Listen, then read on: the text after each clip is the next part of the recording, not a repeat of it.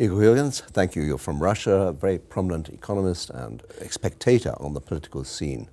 You talked in an earlier session about Russia needing to find its soul. You talked about its European soul and its Asian soul.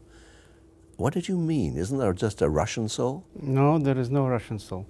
Our national emblem is a double-headed eagle. Eh? One looks east, one looks west.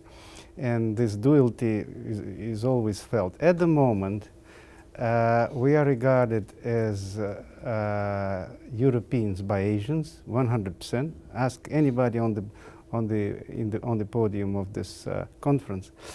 Uh, but at the same time, we feel humiliated and offended by our uh, European friends, wrongly or rightly, after Ukrainian crisis, being pushed out of the family and uh, prodigal son kind of a complex. We have to figure out what do we want to do. Ideal is to be friendly with both.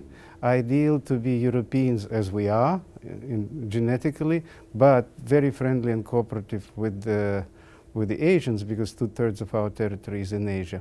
But that's ideal. The, the, the, harsh reality is different at the moment. Do you think the harsh reality in terms of uh, Europe and Ukraine will change because of Russia's new role in Syria? Yeah, but you, you get one problem substituting for another problem. And uh, there is no trade-offs. Uh, we're better in uh, Syria with the, with the West, and they will forgive us in, in the East. That, that doesn't happen.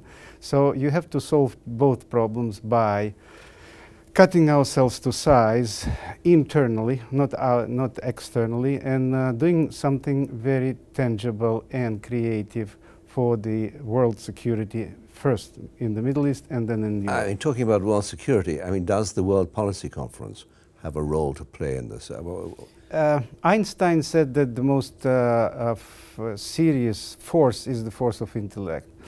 And uh, WPC is the force of intellect embodied by the leader, by the chairman. Thierry de Montbrial is somebody uh, of the world uh, caliber, and he knows how to find people.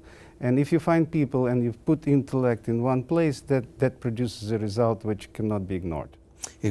Thank you so much. Thank you.